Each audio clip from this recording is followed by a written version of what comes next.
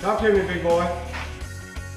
Get a load of this guy, caught red handed in a place no one wants to see an alligator ever.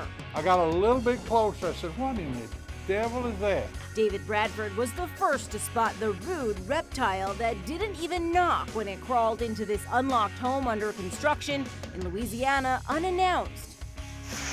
Oh, ho! Just kind of freaked me out. I'm like, Man, how'd this thing get in here? Jeromy Pruitt, who used to be on Swamp People and is an animal nuisance remover, was one of the pros called in to get this scary gator out of there.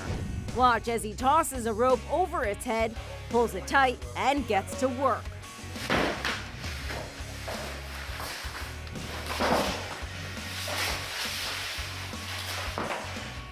This alligator doesn't look happy as he's yanked across the living room floor.